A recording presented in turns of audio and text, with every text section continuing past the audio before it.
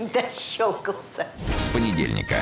Хватит, хватит, все. Невероятная история советского парня, Я ни в чем не виноват. Разберемся. у которого была девушка и еще две девушки. А что ты такой напряженный? Хочешь, я тебе массаж сделаю? А ты заходи почаще. Приходи, я жду тебя.